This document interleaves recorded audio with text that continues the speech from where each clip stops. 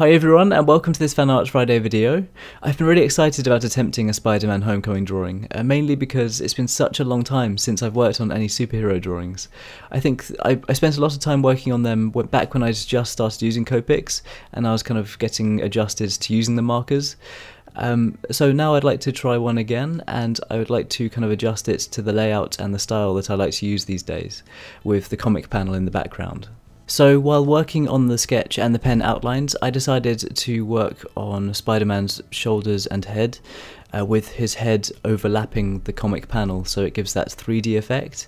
I also wanted to adapt this 3D effect later on by adding some extra shading in some areas to really help it look like Spider-Man's poking out of the page.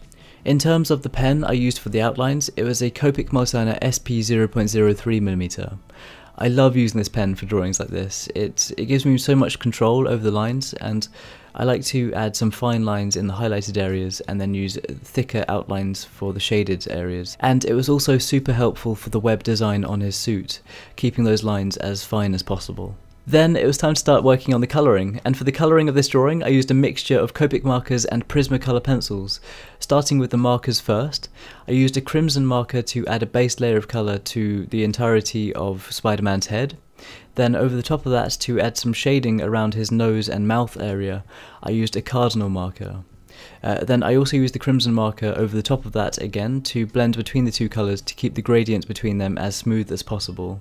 Once the base layer of colour was completed, I decided to use Prismacolor pencils to add the texturing, starting with a crimson pencil first, and adding a cross-hatched effect in between all the sections between the webbing. Uh, then after that, I then placed some dots in between all the cross-hatching with a white Prismacolor pencil.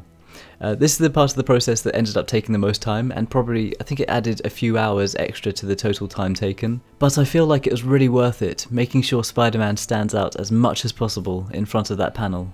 Then, after placing the dot with the white pencil, I added another layer of crimson marker over the top of everything. I also made sure to use my Uniball Signo Broad white ink pen to add some bright highlights, uh, adding some highlighting along the top of his head and along his nose and cheek, uh, just making sure the left side really stands out.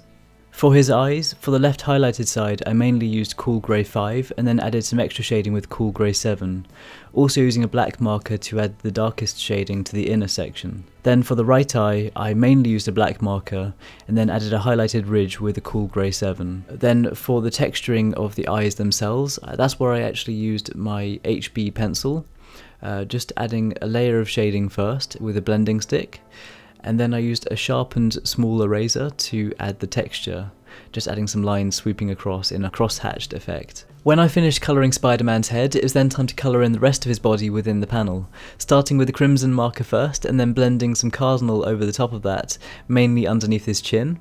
Then I started adding the texturing with the crimson and the white pencil. Again, this took a long time, and towards the end of the drawing, my hand actually started to hurt, um, but I, I still really feel like it was worth it. For the final stages of this drawing, I wanted to add some details to really help Spider-Man stand out, and as I mentioned before, I wanted to add some shading to give the effect that Spider-Man's poking out of the panel. So I started by adding some extremely dark shading towards the bottom with a black marker, and then I blended upwards with a mixture of cool grey 7, 5 and 3, in that order.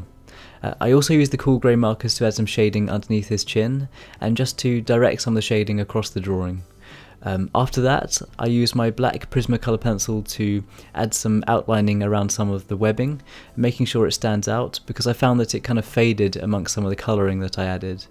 And then as a final detail, I used my Uniball highlighter pen to add some bright highlights along some of the edges. And after that, this drawing was completed. Overall, it took about six and a half hours to complete, and I really enjoyed attempting another superhero drawing. I loved putting in that extra level of detail with the pencils, and even though it took a long time, I feel like I, I'm, I'm really pleased with the results, and I would definitely like to attempt that style again.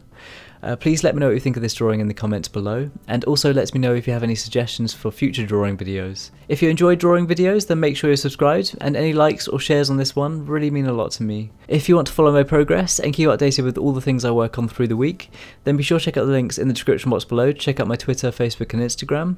And once again, thank you so much for the support, and thank you so much for watching this. This was really fun, and I'd love to work on more. I hope you're having an awesome day, and I'll see you all soon.